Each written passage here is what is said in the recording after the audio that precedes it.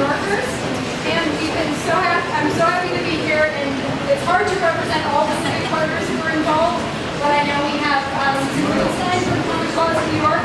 Um, we also have some other partners who are working on this for LW, New York Public Interest Research Group, um, some very local groups, and the American group focusing on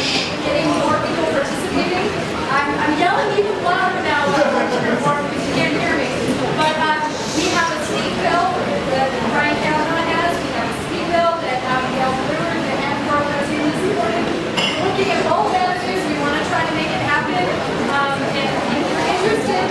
Definitely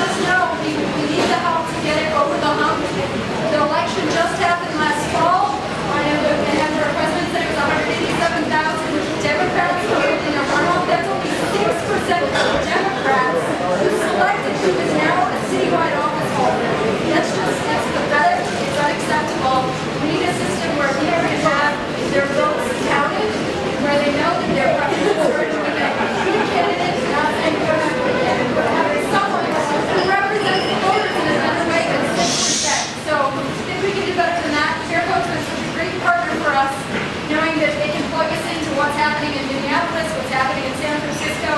We needed, we needed to learn what was happening in other cities to know what was best for the here. FairVote's been excellent in helping us research ethics and on-the-ground work here in New York. So thanks to them for their great help.